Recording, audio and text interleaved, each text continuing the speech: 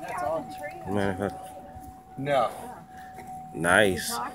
he does a little bit. This kind of parrot doesn't uh, talk as well as the small African grays and the smaller green ones. What's his name? This is Augie. Augie. Yeah. Nice. Hmm.